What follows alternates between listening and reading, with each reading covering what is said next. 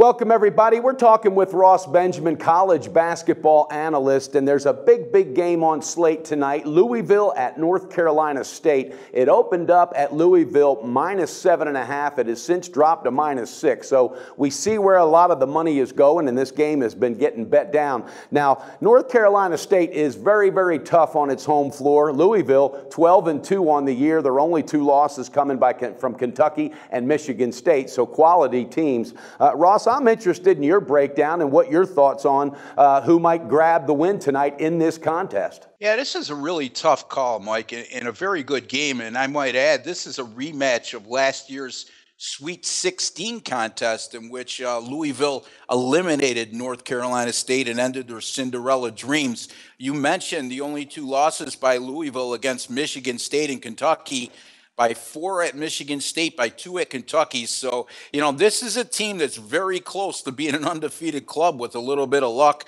Uh, NC State began their ACC slate by losing in their previous game at Virginia Tech, who's uh, you know, it's a Virginia Tech team hard to figure out because they knocked off Virginia as well. Their non conference schedule, they showed mediocrity, so who knows? Last five games for uh, this this club four and one. I'm referring to North Carolina State, but uh, again, they lost that game to Virginia Tech. Three of their wins at home by six against UNC Greensboro, uh, by three against High Point and by six against Northeastern. Not exactly a murderer's row, and they barely got by in those contests. Uh, they've only shot 40% from the field in their last five, and this is a Louisville club that's historically very good on defense. And this year is no different as they're uh, allowing 57.4 points per game and holding opponents to a paltry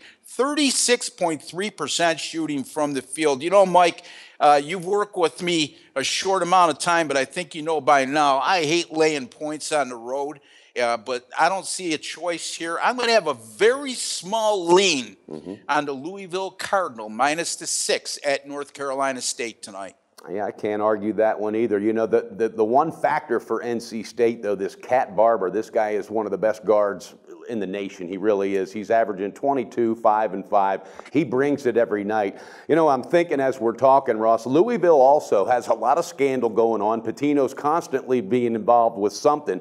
But you know what? He has a way of keeping it quiet, keeping it under wraps, and staying focused and keeping his players coached up. And uh, yeah, this team absolutely could be undefeated right now had it not been for those two close losses. But anytime a Louisville team with Pitino uh, leading the way, like I don't know. I, again, on the road, you know, favored. I, I have to put a lean on it too because I just think experience is going to take over here also. Uh, his coaching experience in big games on the road like this. And I know North Carolina State remembers last year, and that burns inside him. I understand that. But I think Louisville's just too strong for them to overcome. So I'm going to jump on that lean with you as well. So, Ross, thank you for your breakdown. You hear it I out there, everybody. I need to add one more thing, Mike. Okay. One, one more thing, please. In regards to Cat Barber, Barber, 22.9 points per game. Very good point.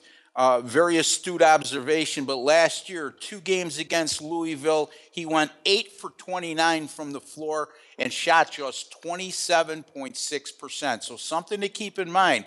Uh, very good point by Mike. This guy, kid is a hell of a player but Louisville kept him in check last year. They did. And with that being said, I guess there's two things that can happen. He can get stuck in that rut again, or he could say, wait a minute, you know, I've matured, I've grown up, I know how my game is, and this is what I'm capable of doing. And he might want to show that at the, you know, on the spotlight tonight in this big nationally televised game.